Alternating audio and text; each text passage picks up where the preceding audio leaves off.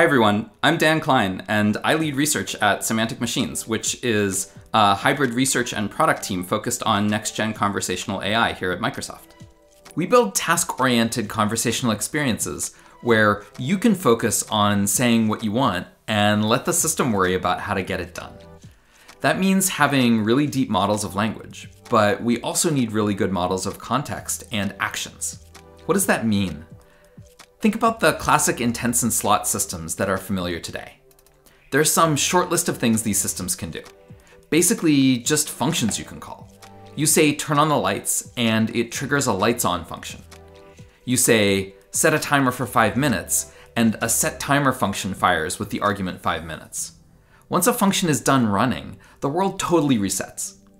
You can't do something new that's not on the short list of capacities, and you can't even refer back to what you just did. You can't change your mind or fix an error.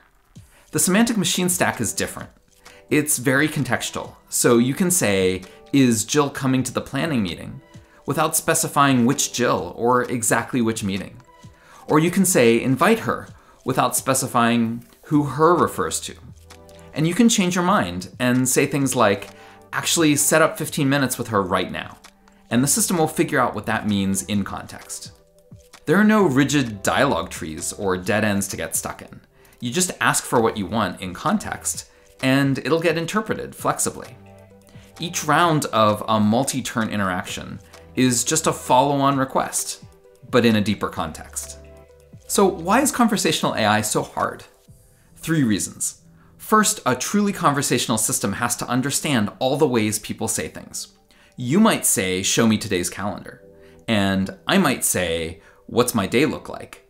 But we mean the same thing. There's a long tail of paraphrases and lexical variations, but NLP is actually pretty good at that these days. Second, the system also has to deal with the long tail of things people want to do. This is about opening up the space of capacities. Maybe you want to create a meeting with Jill at 4 p.m. Great, that seems easy. But maybe you want to know the next time Jill and her manager are both free sometime after next Tuesday. Or maybe you want to rename your meeting and push it back an hour. There's going to be a long tail.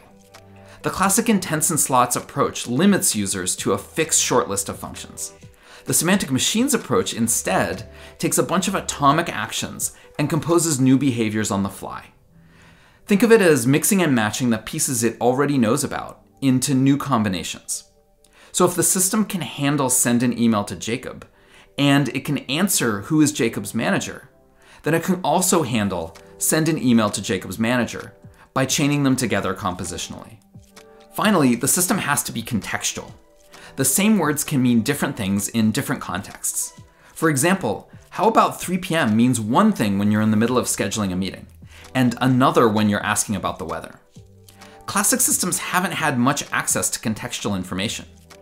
In contrast, the semantic machines experiences are integrated into apps users are already using, so we can see the task they're in the middle of and help them get it done faster. This also lets users shift flexibly between voice and touch input, since we're updating the UI as we go. When people hear conversational AI, they often think about hands free voice applications. And it can be really useful to set a timer or play a song without pressing buttons. But that's not the real power of conversational AI. The real power is that it's often so much easier to say what you want in language than to actually click your way to the result. Push my meeting with Sarah back 30 minutes. Or when are Jill and her manager both free? Or send this picture to my mom and make it the lock screen on my phone. These are things that are so much easier said than done, and faster. That's the real goal, unlocking the power of the technology that's already around us. So how does it work? There are a few key ideas that go into the semantic machines approach. First, task-oriented dialogues are basically programs. When a user asks, how many things are on my calendar today, the system has to access a bunch of data and compute a result. That computation is a program, and the machine learning problem of task oriented dialogue is ultimately to map from contextual inputs to programs. Next, complex tasks are built from simple ones. When a user says something like, What time am I getting coffee with Megan? that breaks down into a bunch of steps. figure out which Megan, look up coffee events with her, find the most salient one, and describe its start time. We can do new complex things by reusing existing simple pieces. Here's another. Meanings depend on context. What about 3 p.m. means something different after is Megan free at 2 p.m. Then after what's the weather like? But in both cases, it means do that salient thing again, but this time transform it by changing the time to 3 p.m. We use a meta-computation approach to handle all kinds of contextual interpretations, from pronouns to revisions, all by using fragments of old programs to assemble new ones. And of course, things will go wrong. Maybe the system makes a mistake. Maybe the user changes their mind. Maybe an API errors out. In all these cases, we use a generalized exception handling approach to keep users from getting stuck. Finally, systems should tell the truth. Once we have systems that can do new things on the fly, that means they'll also need to say new things on the fly. We want to ensure that all those new generated responses are truthful, as well as being understandable and helpful. If you'd like to try out the technology, it's now available in the iOS version of Outlook Mobile for English speakers in the US. This experience is a nice illustration of how conversational AI can be integrated into an underlying product to give a multimodal experience where you always have choices of how to move the task forward. We'll have more versions and experiences soon. Conversational AI is a long-standing challenge in artificial intelligence. We think we've discovered some cool pieces of the puzzle, but there's a lot to do. One thing that's very important to all of us at Semantic Machines is to be part of the larger research community. For more information, you can visit the following links. Feel free to visit the Semantic Machines research page, where you can learn more about the work we're doing and see more in-depth technical talks.